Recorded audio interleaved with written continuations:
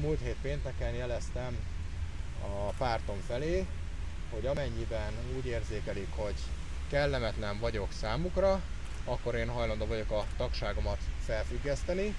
Akkor erre még nem volt fogadókészség. Mai híradásokból viszont arról értesültem, hogy hát egyfajta ultimátumot kaptam a saját pártomtól is.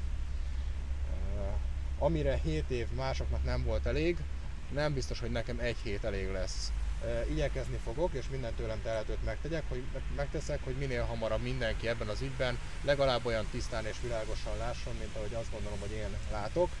De hát uh, ultimátumokat, meg, uh, meg, uh, meg egyéb felszólításokat uh, még akkor sem vagyok hajlandó elfogadni, hogyha ez magától, a Mesterházi Attillától is érkezik, vagy bárki mástól.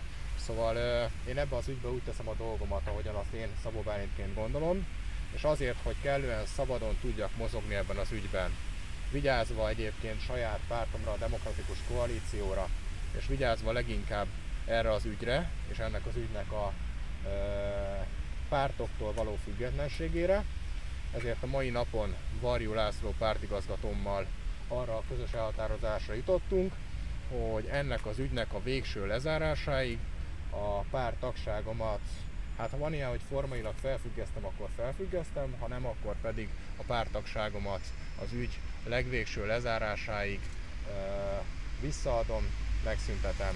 Innentől kezdve minden nyilatkozatomat Szabó Bálintként adom, és azt gondolom, hogy sokkal kevésbé kell egyébként vigyáznom arra, hogy mikor, mit mondok, és kire nézve mikor teszek terhelő vagy kevésbé terhelő vallomás vagy, vagy egyáltalán nyilatkozatot. Csütörtökön három keresztnevet mondtam, ha jól emlékszem, van konkrét bizonyíték ebben az ügyben, de azt gondolom, hogy nem nekem dolgom ezt az asztalra tenni. Ha más nem teszi meg, azt gondolom, hogy nekem kell majd megtennem.